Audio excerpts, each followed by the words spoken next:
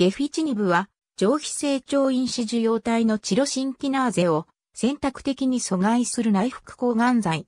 癌の増殖などに関係する特定の分子を狙い撃ちする分子標的治療薬の一種である。商品名はイレッサで、アストラゼネカが製造、販売。褐色の錠剤で1錠 250mg のゲフィチニブを含有する。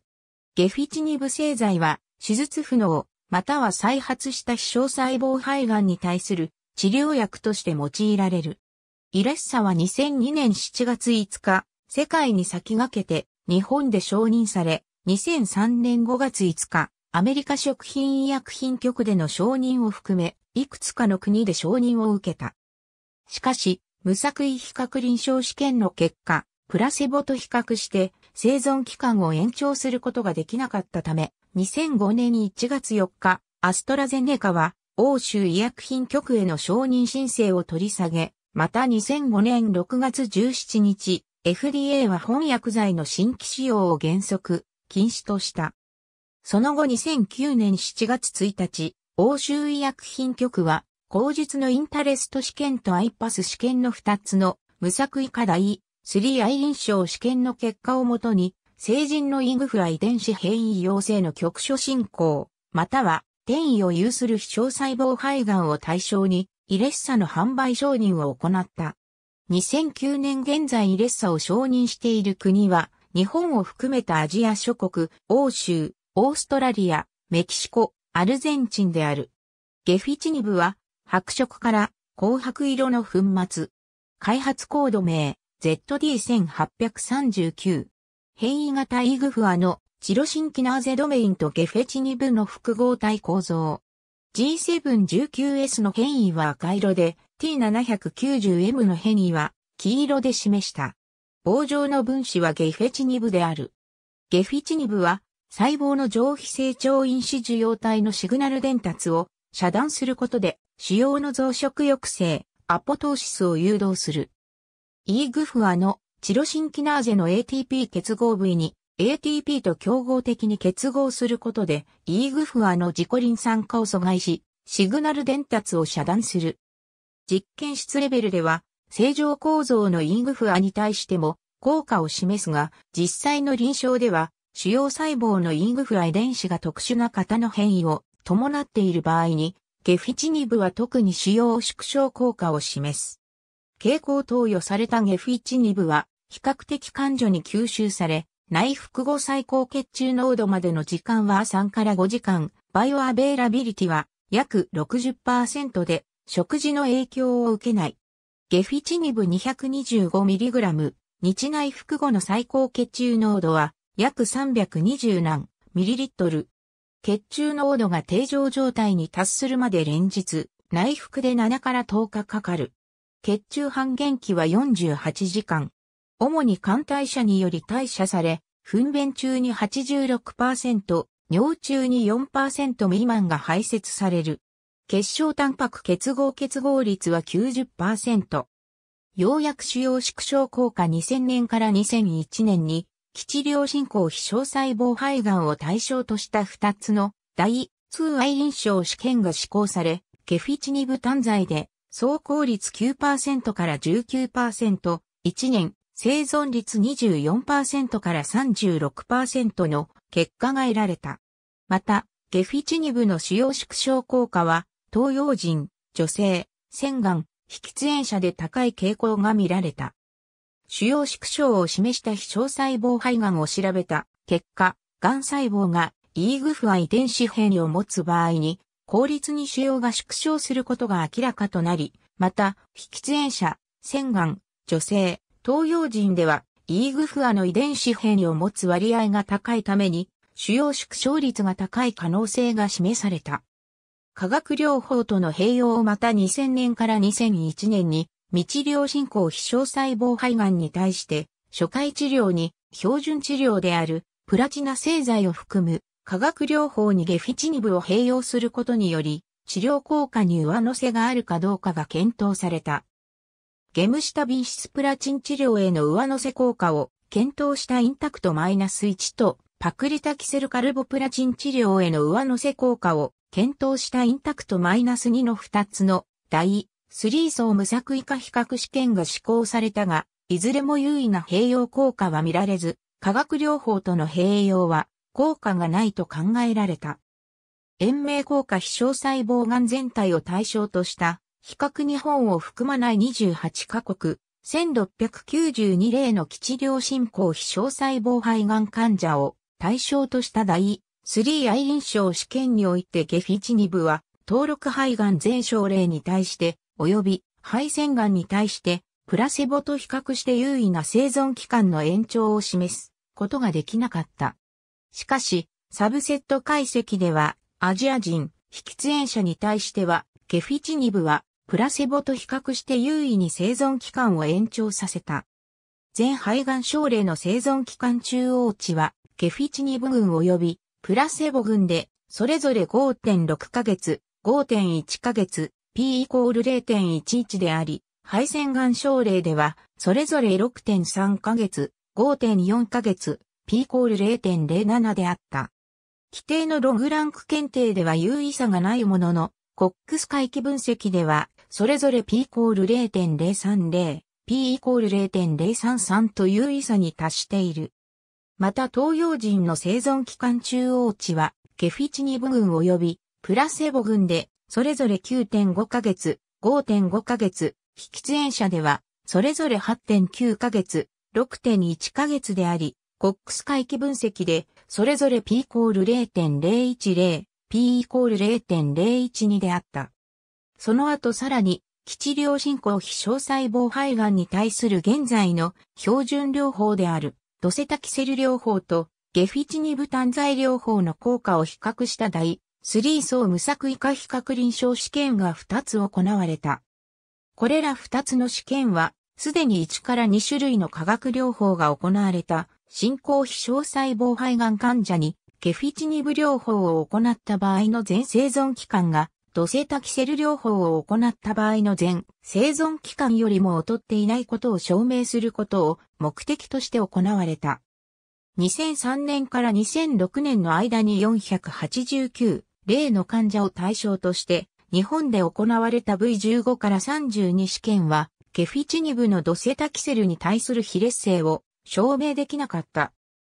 しかし、2004年から2006年の間に日本を含まない24カ国において1466例の患者を対象として行われた。インタレスト試験では全生存期間中央値はケフィチニブ群が7.6ヶ月であったのに対し、ドセタキセル群は8.9ヶ月、1年生存率はケフィチニブ群が32%でドセタキセルは34%、ハザード比は1.020であり、ドセタキセルとゲフィチニブは基地療進行非小細胞肺がんに対して同等の効果があることが初めて証明された。この二つの試験の違いとしてご治療の差が指摘されている。つまり V15 から32試験ではドセタキセル群の53%もの患者がドセタキセル療法終了後にゲフィチニブ療法を受けていたためにゲフィチニブの効果がドセタキセル群の患者にも現れた可能性である。ゲフィチニブ療法終了後にドセタキセル療法を受けた患者はゲフィチニブ群の36%であった。一方インタレスト試験ではゲフィチニブ群の31%がゲフィチニブ療法終了後にドセタキセル療法を受け、ドセタキセル群の37%がゲフィチニブを含むイーグフアチロシンキナーゼ阻害剤の投与を受けていた。対象を選別しての比較さらにゲフィチニブの効果が期待できる患者を選別して対象とした無作為化比較大3愛臨床試験が行われた。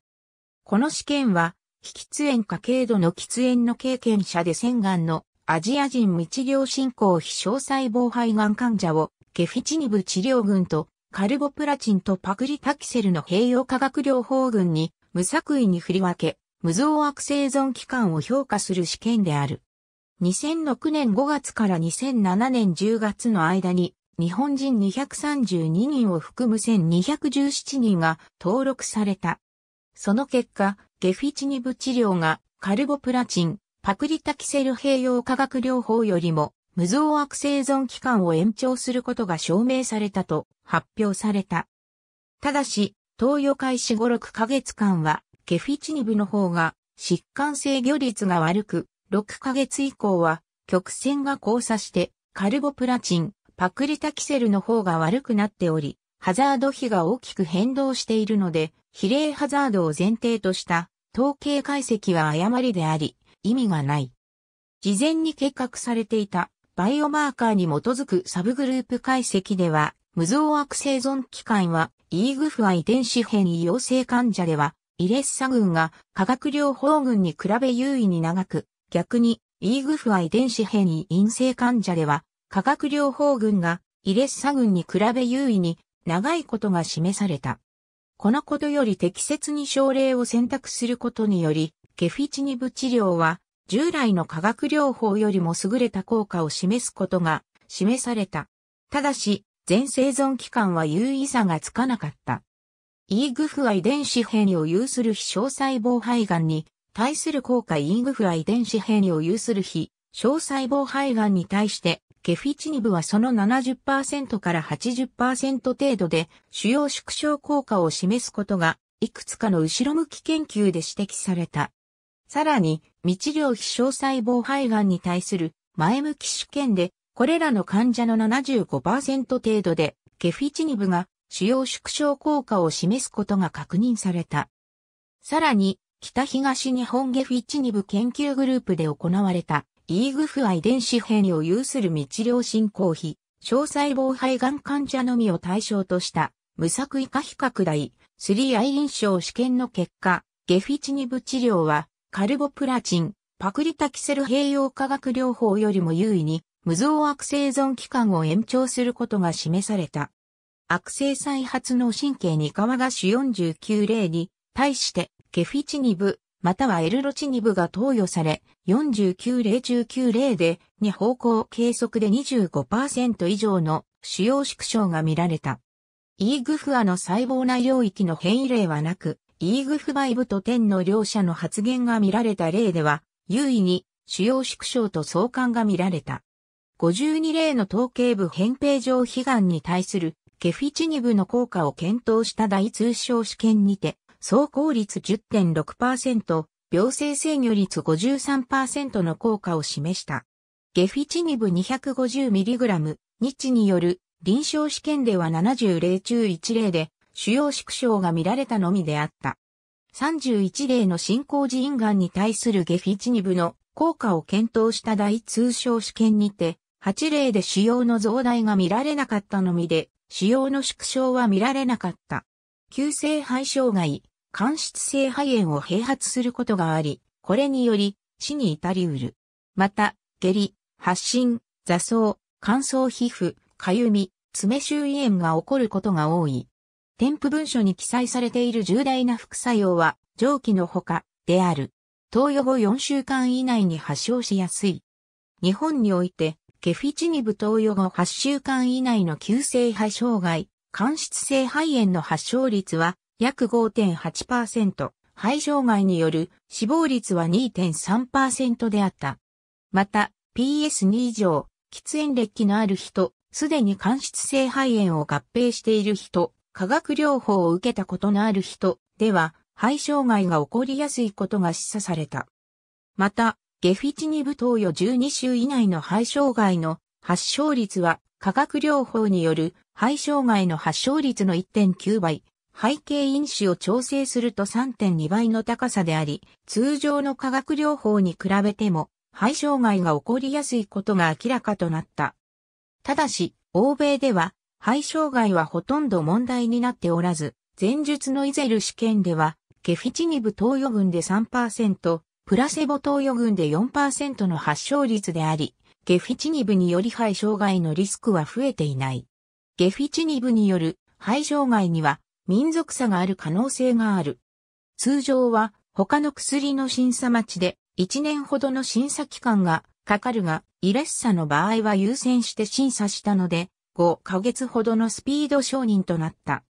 当初は副作用が少ないと言われていたが、治験では3例で間質性肺炎を発症していずれも治療で回復したが、治験外使用では7例で、間質性肺炎を発症したうちの3例が死亡している。承認前に判明していた間質性肺炎は、国内臨床試験で133人中3人、治験外使用では国内で296人中2人、海外を含めると1万人以上で10例前後だったとされる。当初の添付文書の重大な副作用の4番目に、間質性肺炎、間質性肺炎が現れることがあるので、観察を十分に行い、異常が認められた場合には、投与を中止し、適切な処置を行うことと記載されていた。販売後の情報収集体制強化を行う市販直後調査より厚生労働省は同年10月15日、イレッサとの関連性が否定できない副作用26例、内死亡13例を盛り込んだ緊急安全性情報を発表。2002年10月の1ヶ月で51人、同年11月で81人、同12月で37人がそれぞれゲフィチニブ服用後の急性肺障害、間質性肺炎等での死亡が報告されたが、その後の死亡報告数は減少している。2006年3月までの累計で643人がゲフィチニブ服用後の急性肺障害、間質性肺炎等での死亡が報告された。2013年4月現在、日本において承認取り消しや使用制限は行われていない。2004年、患者の遺族たちが国と製薬会社を相手取って大阪地方裁判所と東京地方裁判所に提訴した。地裁決審時の原告は計15人となった。2011年2月25日、大阪地裁は添付文書に警告欄を設けた2002年10月15日までに服用した患者3人について販売元企業であるアストラゼネカに賠償を命じ、同日以降に服用を始めた患者一人については賠償責任を否定した。その一方で死亡を含む重い副作用の危険が具体化すると高い可能性では認識できず、当時の医学、薬学的知見の下では著しく合理性を欠くとは言えないとして国の責任は否定した。2011年3月23日、東京地裁は第一般添付文書の記載に不備があるとして、この点についてのみであるが国と製薬会社双方の責任を認めた。2012年5月25日の大阪高等裁判所判決2011年11月15日の東京高等裁判所判決はいずれも製薬会社国両方の賠償責任を認めず一審判決を取り消して原告敗訴の判決を言い渡した。2013年4月12日、最高裁判所は、各々の二審判決を指示、上告を棄却した。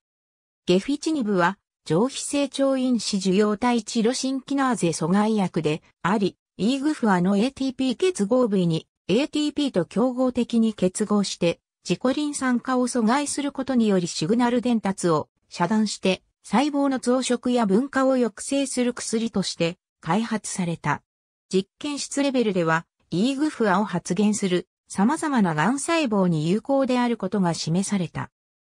しかし、イーグフアは、非小細胞肺がんの40から80%で過剰発現が見られるのに対し、ゲフィチニブは、非小細胞肺がん患者の10から19%にしか主要縮小効果を示さず、イーグフアは、非小細胞肺がんの内扁平状皮がんで過剰発現の頻度が高いのに対し、ゲフィチニブは、洗顔で有効性が高く、また実際イーグフアの発現とゲフィチニブの効果の間には相関がないことが示され、ゲフィチニブは、非小細胞癌の一部で劇的な主要縮小効果を示すものの、その正確な作用基準は不明であった。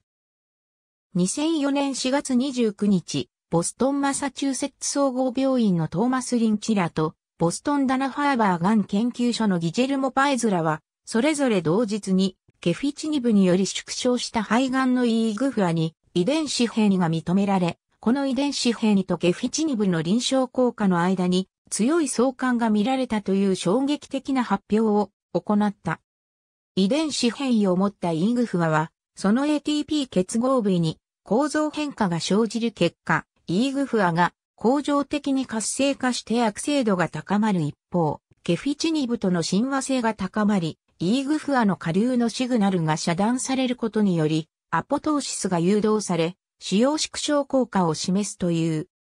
それまでゲフィチニブは、非喫煙者、洗顔、女性、東洋人で有効性が高いことが報告されていたが、これらは、非喫煙者、洗顔、女性、東洋人において、イーグフアの遺伝子変異を持つ割合が高いことによる可能性が数々の後ろ向き研究で示された。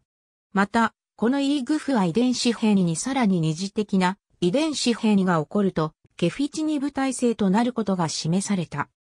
これに対して、コロラド大学保健科学センターのフェレリコ・カップーゾ及びフレッド・ヒルシュらのグループは、フィッシュ法により検出されるイーグフア遺伝子コピー数の増加が遺伝子変異よりも強く使用縮小及び予後と関連していると反論した。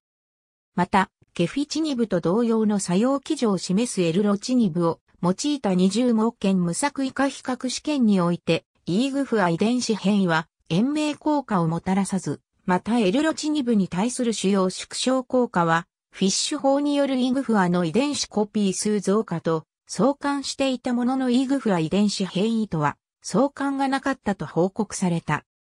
しかし、イーグフア遺伝子変異を有する未治療費、小細胞肺がんに対する前向き試験によって、これらの患者の75%程度で、ケフィチニブが主要縮小効果を示すことが確認され、このイーグフア遺伝子変異は、ケフィチニブの主要縮小を予測する因子であることは、定説になりつつある。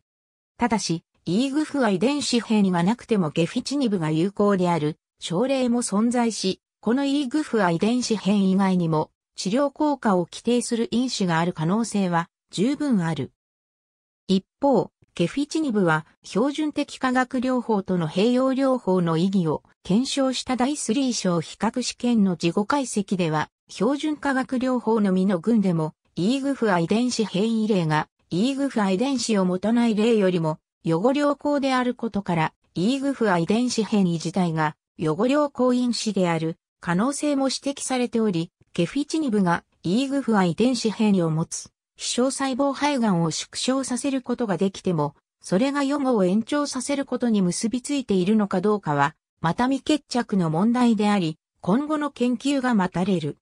イーグフア遺伝子変異を有する症例を対象として、従来から標準治療とされてきたプラチナ製剤併用化学療法とゲフィチニブの比較試験が行われた。その結果、ゲフィチニブが無造悪生存期間で優位に優れていたことが報告され、現在では標準治療の一つとなっている。ありがとうございます。